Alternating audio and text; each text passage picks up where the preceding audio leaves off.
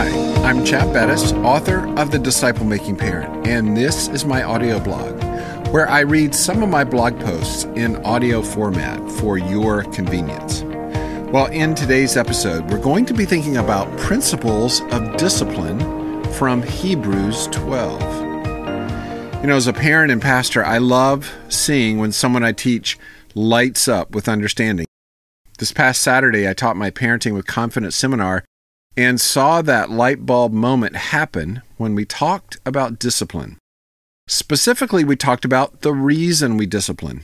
As a parent, it can be difficult to impose pain on the ones we love. But our chastisement is rooted in the nature of God. We learn to deal with our children by looking at how the perfect Father loves His. Well, in the disciple making parent, I talk about why we discipline from a discipleship point of view. But in this post, I want to look at a more specific scriptural basis for discipline.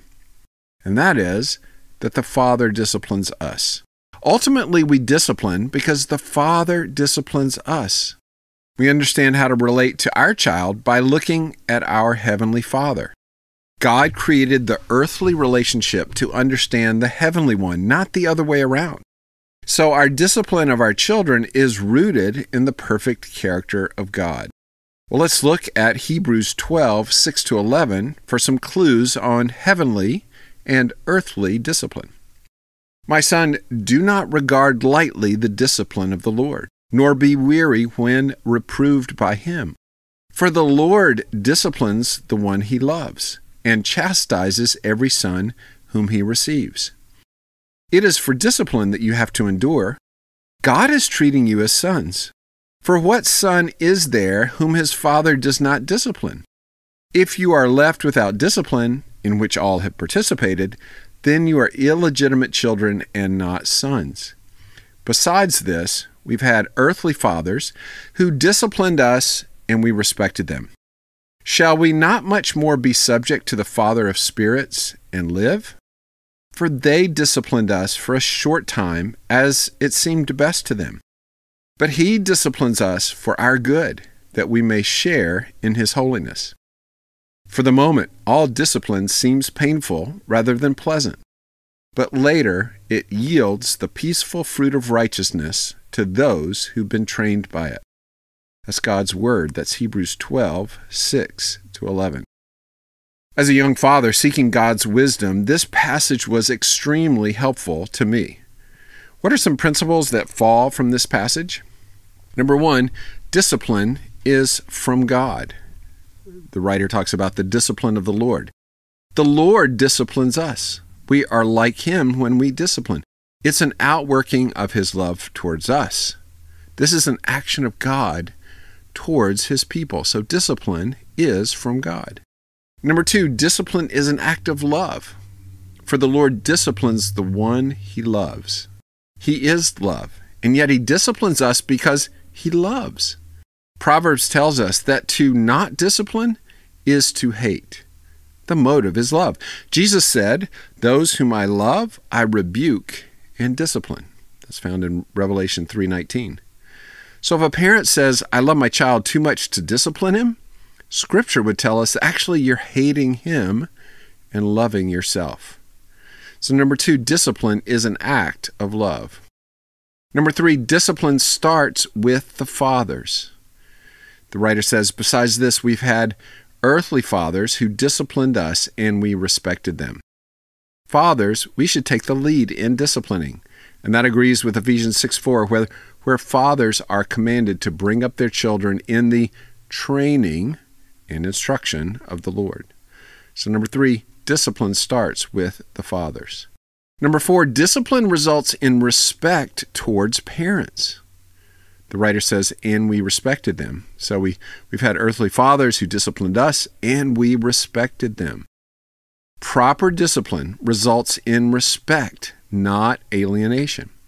There's a reason God gives us little children. When they disobey our commands, they know they, there should be a consequence. When there is no consequence, they start to lose respect for us. It's similar to the classroom teacher that can't control his or her class. There's no respect for the teacher. Too many parents want their children to like them. our children will like us when they're adults if they respect us when they're children. So, number four, discipline results in respect towards parents. Number five, our discipline is for a short time. The writer says, For they disciplined us for a short time as it seemed best to them. Believe it or not, you will not always be correcting your children. As a father of adult children, I can tell you it does come to an end. In the broad span of their life, our discipline really is only for a short time. Number five, our discipline is for a short time. Number six, it's imperfect. Our discipline is imperfect. For they disciplined us for a short time as it seemed best to them. What a sweet relief this verse is. As it seemed best to them. That means that my discipline will be imperfect and they will survive. And that, that's not to endorse uninformed thinking. Parenting with confidence, the material that this comes from and led to, does help here. Nevertheless, I only have to do my best. I should not hold back out of fear of messing up my child. Remember, they come messed up already.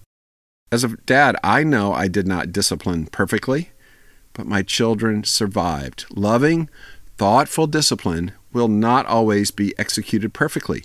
But in a house where there is love and affection, our children will survive our mistakes. Number six, our discipline is imperfect. Number seven, discipline is painful.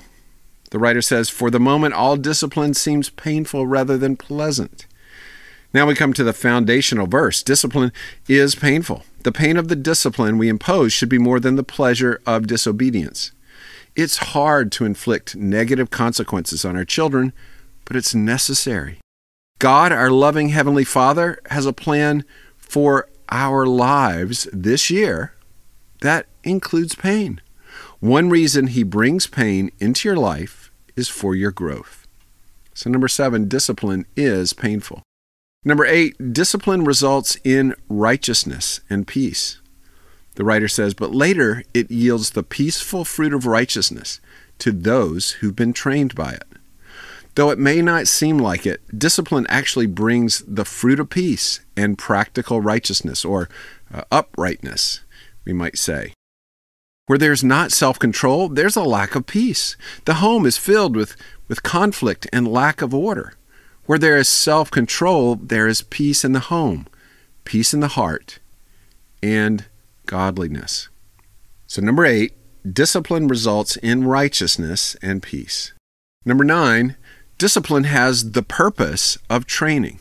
The writer says, but later it yields the peaceful fruit of righteousness to those who've been trained by it.